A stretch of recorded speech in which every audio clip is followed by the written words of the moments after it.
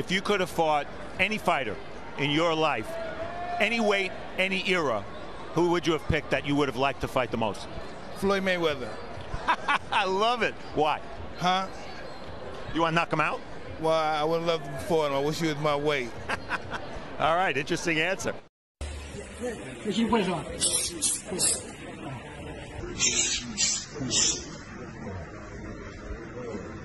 You have any advice for Mayweather? He's spending a lot of money right now. Have a have a ball. Enjoy it, huh? That's what you do.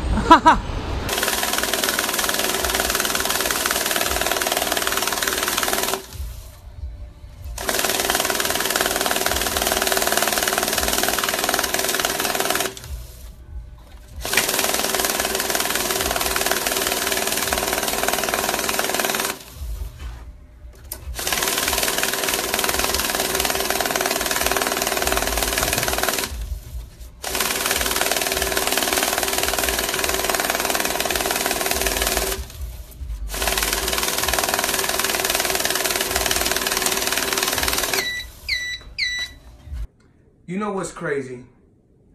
People are always in my fucking business, worried about what I'm doing, what Floyd is doing, what Floyd ain't doing, what I do got, what I don't got. Just know I'm gonna stay in my lane. I ain't gonna fuck with nobody, and I don't want nobody fucking with me.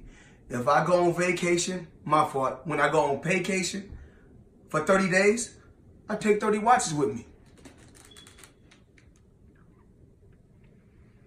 But you know what? You know what?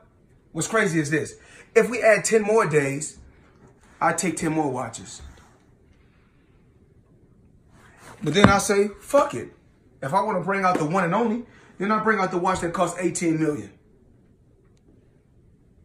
Matter of fact, you know what I'm gonna do for you motherfucking haters today?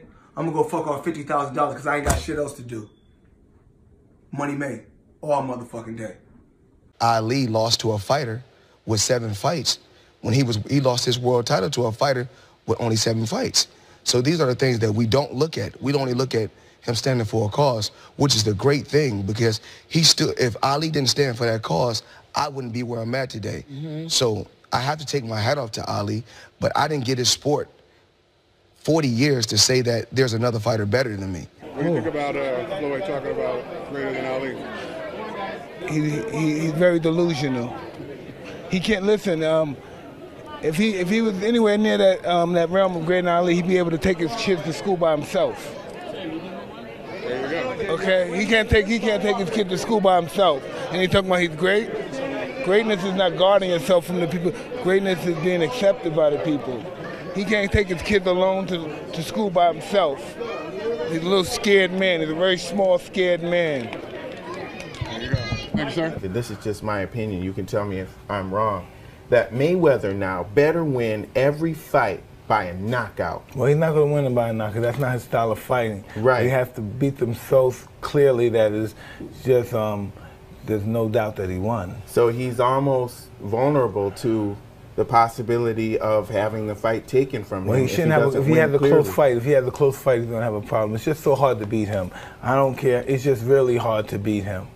You know, the style that he um, employs is just really difficult to beat him in that particular style. It's just, really, you know, I don't care. Love him or hate him, he's a hard man to beat. How would you penetrate that style? Well, he, I couldn't. the shoulder roll and Well, I, I would fight him differently. I would just, I, I even though I would fight a guy like um, Floyd differently if he was a heavyweight.